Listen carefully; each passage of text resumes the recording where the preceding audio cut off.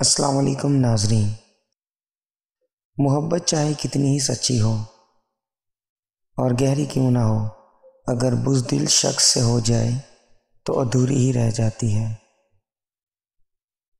ज़िंदगी हर किस्म के इंसान के साथ गुजारी जा सकती है, सिवाय बेकदरे के। ज़िंदगी की बड़ी बड़ी गलतियों में से एक गलती ये भी है कि आप कम ज़र्फ़ और ख़ुद गर्ज़ लोगों पर अपना खलूस ज़ाया कर देते हैं। अगर कोई शख्स आपको मुसलसल जहनी अजियत में मुबतला करके मोहब्बत का दावा करता है तो यकीन माने इसे आपसे सच्ची मोहब्बत हो ही नहीं सकती।